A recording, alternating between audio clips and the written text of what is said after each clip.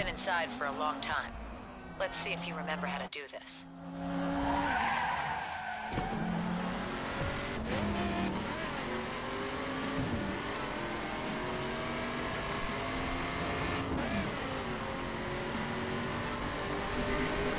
You know the deal.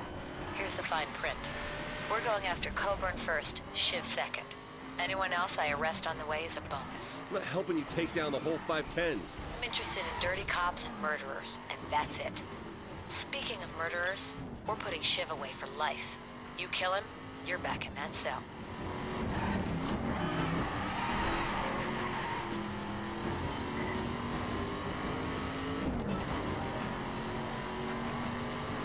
You got a hard on for Coburn, I get that, but why do you need me to get him?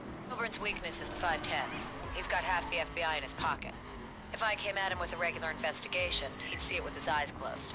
But if I get an inside eye on Shiv's operation, we get them both. You've got the skills and motivation to see this through.